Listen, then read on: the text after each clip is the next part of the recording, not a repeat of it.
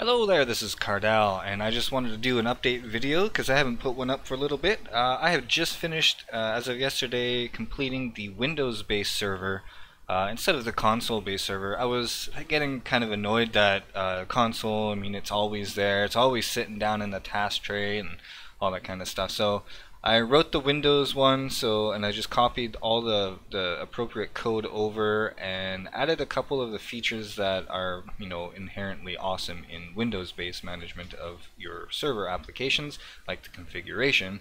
And I put that all in here, uh, and I'll just show you exactly how this thing is working right now. Uh, so we have our little icon, which I'm going to update this to the actual app icon eventually. And when you double click it, it hides it. It goes away from the taskbar at the bottom. Double click it again, it comes back. You can send it to tray this way. You know, same same thing, right? So now the configuration, uh, you can set your port if you leave it blank. It's uh, defaulted uh, to 57934 just like normal, uh, which is in the help file, which I am working on. The uh, listing here, you can add and remove lists here with just a simple dialog box and uh, do all that kind of cool stuff. And then when you save it, it saves the configuration. And when you rebuild, it will scan all of your files and it yeah has the database version here at the end so that it's updated.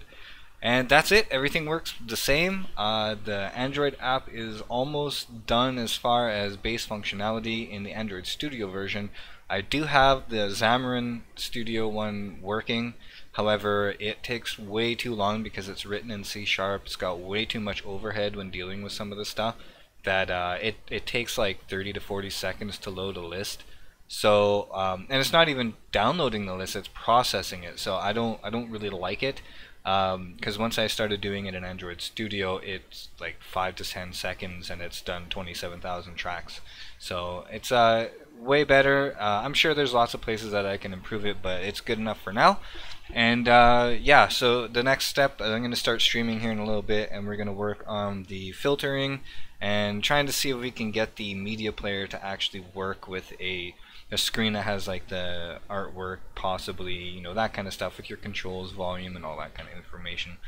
So uh, yeah, I just want to put a little update because it has been quite a while since I posted an update on this software. So I uh, hope that helps. If you have any questions about the software so far, um, just leave a comment down below. I'll try to answer it. Talk to you later.